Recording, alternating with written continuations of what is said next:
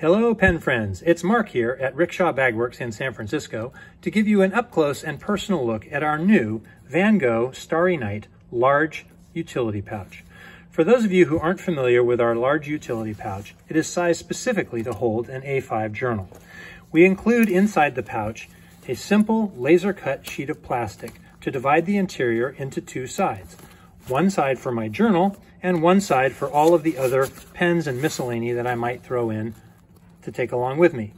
This allows me to take the journal out and slide it back into the um, utility pouch without interfering with whatever is on this side. It turns out to be a very simple and effective way to create two separate compartments inside of the pouch. I want to show you how I use this to carry my six pen pen roll inside of the pouch.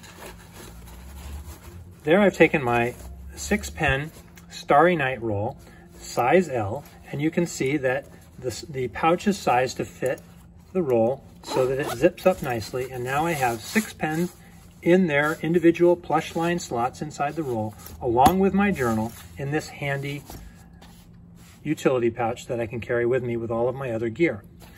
Turns out I can also stick one additional pen at the on the side here with my journal. There's a little extra headroom. I can slide this in there and I can close it up.